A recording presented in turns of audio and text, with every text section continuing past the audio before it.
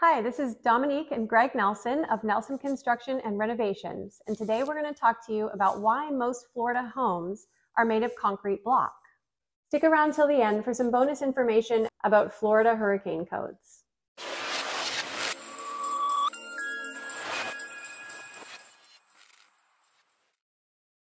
You've probably noticed that most homes in Florida are built with concrete cinder block, also known as CMU, or concrete masonry units. You may find that only the first floor is made of block, while the upper stories are made of wood framing, as in the case of this development that we're doing on Indian Rocks Beach. Or you may see homes built from foundation to roof, concrete all the way up, as in this custom home that we're building on Clearwater Beach. However, in Florida, we still do wood framing because it meets building code. The Florida Building Code allows us to build in several different ways. So if it's okay to build with wood framing down in Florida, then why do most builders opt for concrete block? You got kind of like a bronze, silver, gold. You've got wood framing down at the bottom. You've got block as your next tier being block first floor, wood frame second floor. And then your third tier would be all concrete. But even up there on the third tier, you've got a couple of different options. In Florida here and a lot of the southern states, we have a problem with termites. Um, there's different types of termites. You have subterraneans, which are the ones that live in the mud and they'll crawl up and they'll eat the wood and then they'll go back down. And then you have the swarming kind, which kind of move from house to house in a, uh, you know, picking them like the lottery. And then they'll get into the wood and they'll eat it up and uh, create a structural damage and all sorts of havoc. That's the first consideration on why anybody would want to move to concrete block. The second reason is that concrete is more energy efficient than wood framed houses, both in sound deadening and soundproofing the home and also temperature wise. So you can save money on your air conditioning bill and do a lot better on the climate controlling inside your house if it's built out of concrete block. Concrete block is a, a lot thicker. A standard concrete masonry unit is eight inches wide and eight inches high and 16 inches long. They call them eight by eight by 16s. But your typical two by four is four inches, so it's smaller. Of course, you can get wider ones. You get two by sixes, two by eights, and you can frame the envelope of a house out of a larger piece of lumber, but then you still have to insulate it. So with concrete block, it comes eight inches and it's also got an airspace in it. So you have this built-in space where um, it, it, helps with the insulation. Concrete block can also get injected with a foam that's made to insulate it, which pushes your thermal barrier to the outside of the house. But it's much more energy efficient uh, as far as you know, keeping the house insulated, keeping it cooler, that sort of thing. The other thing that I wanted to mention with concrete block is that concrete block uh, won't dry rot. So if there's ever any kind of water infiltration or, uh, you know, if rain gets through the outer envelope and gets onto it, it's not going to cause rotten wood, dry rot, mold, that sort of thing. Whereas with wood framing, if water pierces the outer envelope, the waterproof shell, then you're going to have huge major issues. And the third reason why most builders build with concrete block and why it's beneficial to you and your home is that it's healthier. Concrete is actually one of the greenest materials out there. It's low VOCs, it's harder for mold to grow, and it's harder for allergens to get in from the outside. In general, it's going to create a much healthier space in your home for you and your family. Yeah, the other thing about concrete too is it lasts a long time. So, you know, you had the uh, the Greeks were using an early version of concrete and the you know the Romans and that and they they basically discovered that when they built their fires in the morning after the morning dew would set, they would have this hard crust and they realized that the lime would get fired and then it would get hydrated, rehydrated and then this was the beginning of concrete. A lot of concrete structures from that time period are still falling apart and chipping and everything the technology for uh, cement uh, concrete work is expanded and it's gotten very, very scientific. And the current modern day 21st century concrete structure is far superior to anything that we've ever had before because it's all reinforced concrete. There's a very exact science on the exact placement of reinforcement steel bars within the concrete.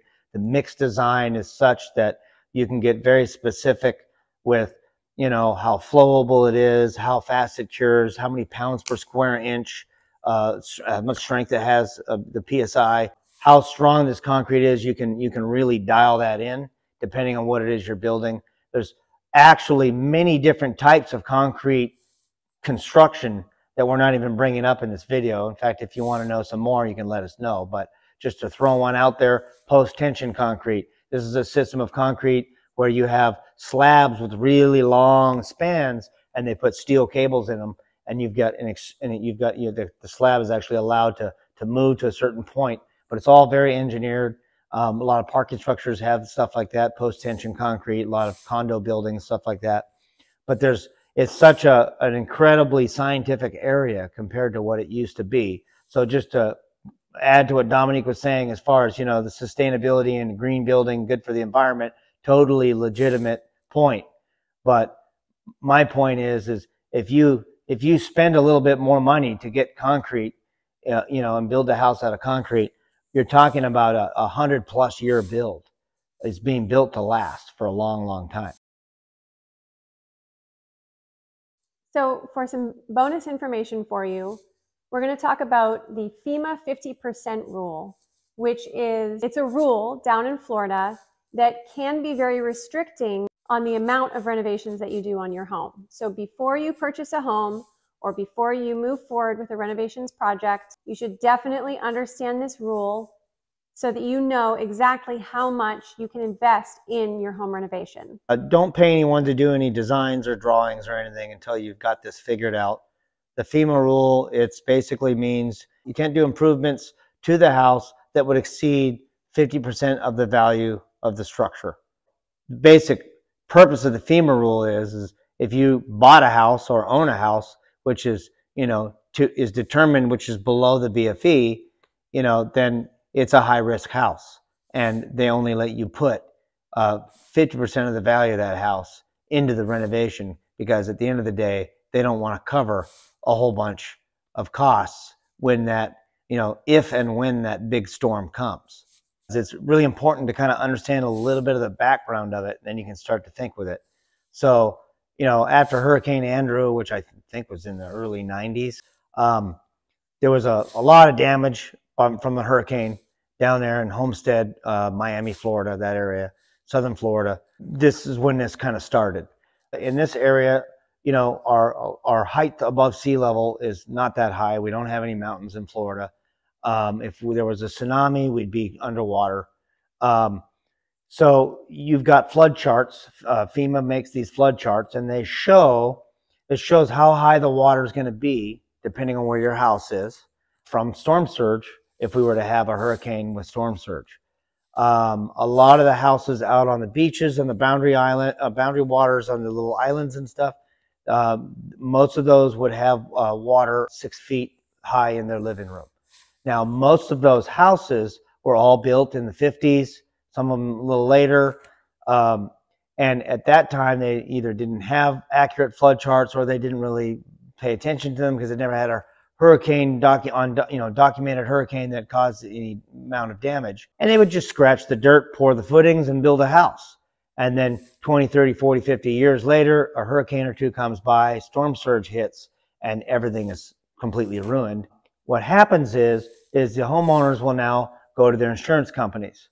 And if you get 40 to 50,000 clients going to an insurance company, that's a pretty big bill to cover. And the insurance companies tap out. And the insurance companies basically go to FEMA and say, hey, we need help. We got all these people that got their houses wrecked.